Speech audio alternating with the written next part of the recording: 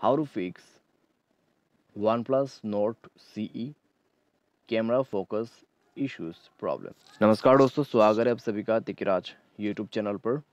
तो दोस्तों, आज की इस वीडियो पर मैं आपको बताऊँगा कैसे आप जो है कैमरा फोकस प्रॉब्लम सॉल्व कैसे कर सकते हैं। तो दोस्तों, मान ले अगर आप पिक्चर क्लिक करने की कोशिश कर रहे हैं, ठीक है? तो पिक्चर क्लिक करने के लिए दोस्तों, आपके पास कैमरा पे फोकस होना ज़रूरी है। अगर आप दोस्तों फ़ोटो क्लिक करने जाओगे, मान लीजिए कैमरा को ओपन कर दिया, यहाँ पे दोस्तों आपका कैमरा अगर फोकस नहीं करोगे तो पूरा ब्लरी रहेगा। जब कैमरा फोकस करते तो दोस्तों पूरी अच्छी तरीके से क्लियरिटी आपको देखने को मिल जाती है अच्छी तरीके से नंबर भी अभी आप यहाँ पे देख सकते मेरे कीबोर्ड का, ठीक है? तो इस तरीके से फोकस करना चाहिए। तो अभी अगर फोकस ही नहीं हो रहा है तो क्या सॉल्यूशन करना होगा? क्या प्रॉब्लम हुआ है? वो सबको, वो सब कुछ आपको इस वीडियो पे देखने को मिल जाएगा। वीडियो शुरू करने से पहले अगर आपने चैनल को सब्सक्राइब नहीं किया है तो सब्सक्राइब करते हुए बेल आइकन को क्लिक करें और अगर आप ऑनलाइन पैसा कमाना चाहते हैं तो वीडियो डिस्क्रिप्शन पर आपको लिंक मिल जाएगा। चलिए दोस्तों, वीडियो शुरू करते हैं। तो दोस्तों, यहाँ पे जो कैमरा फोकस प्रॉब्लम हुआ है, सबसे पहले जाइए अपने मोबाइल के सेटिंग पर, ठीक है? थोड़ा सा नीचे आ जाइए, ऐप्स एंड नोटिफिकेशन पर जाके सी ऑल ऐप्स पर क्लिक करें, एंड कैमरा पर जाइए।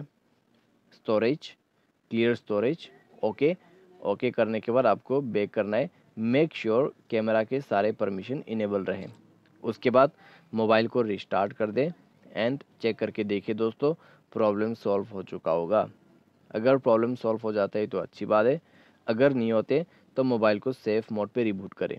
उसके लिए पावर बटन को प्रेस एंड हॉल करना है। और आपको सेफ़ मोड पे रिबूट करने के लिए पावर ऑफ़ के जो स्विच है, उसमें दो सेकेंड प्रेस के रखना है प्रेस करके रखना है, ठीक है? क्लिक करके रखना है और ओके कर देना है। उसके बाद सेफ़ मोड पे रिबूट हो जाएगा। जैसे ही सेफ़ मोड पे रिबूट हो जाएगा, आपको दोबारा से चेक करके देखना है। ठीक है?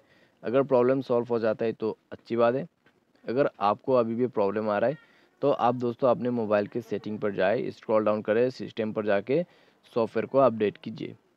जैसे ही दोस्तों आप सॉफ्टवेयर को अपडेट करोगे, आपका प्रॉब्लम सॉल्व हो जाएगा। ठीक है? तो सॉफ्टवेयर अपडेट करना बहुत ही ज़रूरी है। सॉफ्टवेयर को अपडेट करके पिक्चर वगैरह क्लिक करें। या फिर दोस्तों आपको प्ले स्टोर में कई सारे कैमरे ऐप्स मिल जाएगा तो आप वो भी इंस्टॉल करके यूज़ कर सकते हैं। ठीक है? तो आज के लिए दोस्तों बस इतना उम्मीद करते हैं आपको ये वीडियो पसंद आया होगा। Thanks for watching.